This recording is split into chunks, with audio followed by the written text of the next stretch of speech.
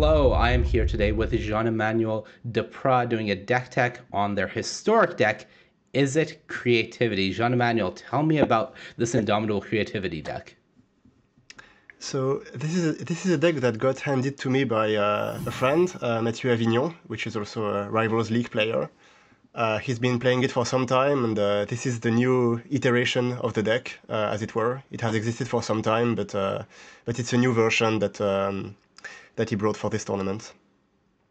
Okay, awesome, perfect. Let's go right into it. So this is a combo deck, and the first thing we really need to look at are the win conditions for this combo. So Indomitable Creativity, the Locust Gods, Sage of the Falls. Tell me about these.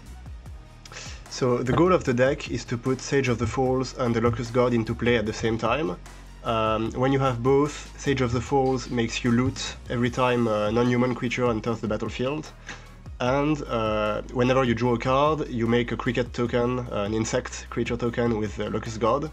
So when you have both, you can draw your whole deck and make as many insects as you have cards, and they all have haste and they attack. Uh, and so to make that happen, uh, what you're doing is you're playing Indomitable Creativity on two of your own permanents. Um, and since uh, these creatures are the only creatures in your deck, uh, it always fetches these two. So um, the permanents you target are things like uh, treasure tokens from uh, Prismari Command or uh, the crab from Hard Evidence. So all these little uh, uh, extra permanents you make uh, with your early game spells. All right, that makes a lot of sense. So you kind of let us in there. Let's talk about them. The token makers in the deck, the facilitators of the combos that were Hard Evidence, Strike It Rich, Prismari Command, Unexpected Windfall. Tell me about these choices and why specifically these cards as the permanent makers of the deck. So um, you want cards that enable the combo, but that also helps you um, gain time against creature decks. So that's why we play uh, four copies of Hard Evidence and four copies of Prismari Command, uh, because these cards not only uh, make uh, tokens, but they also uh, block or kill opposite creatures. And then you have cards that make treasures, uh, and treasures are good specifically in this deck because you want also to um, to ramp up your mana to be able to go off and then have some backup if your opponent has interaction for the combo. That makes a lot of sense. And like any combo deck, you do need some card draw. So let's take a look at those expressive iterations Salon Division we've seen before, but four copies of Valakut Awakening. Tell me about this one. So a big challenge with this deck is uh, getting rid of the combo creatures when you draw them, because you don't actually want to, to play them uh, if you don't have the other part uh, on the battlefield. Uh, so that's where uh, Valakut Awakening comes in, as well as uh, Fire Prophecy. These two cards uh, help you put the, the, creatures you draw on the bottom of your deck.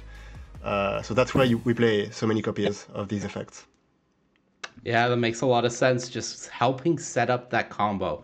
And finally, we look at some of the disruption package you have here. You already told us about the importance of Fire Prophecy. Some of these we've seen before. Pact of Negation is sort of a combo staple. What is it doing in this deck?